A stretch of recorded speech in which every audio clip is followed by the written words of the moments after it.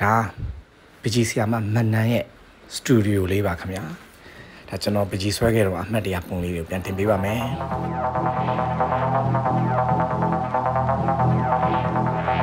ကြည့်ရှုအားပေးသူများအားလုံးကျေးဇူးများတင်ပါတယ်ခင်ဗျာ